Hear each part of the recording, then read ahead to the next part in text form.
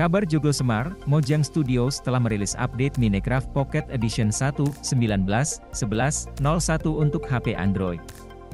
Pakai link download gratis untuk HP Android ini untuk download Minecraft Pocket Edition 1, 19, 11, 01 yang legal dan aman. Minecraft Pocket Edition sudah bisa diunduh secara gratis melalui HP Android, tidak seperti beberapa seri Minecraft lainnya.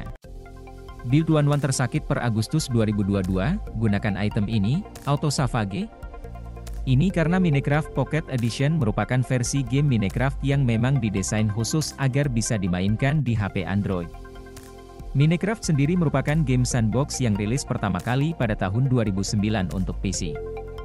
Game tersebut kemudian banyak disukai oleh para gamer sehingga dirilis ulang untuk platform lain, salah satunya Android di tahun 2013.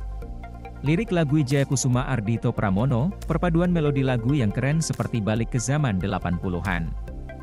Minecraft Pocket Edition hadir sebagai bentuk pertama dari game Minecraft yang dioptimalkan untuk HP Android.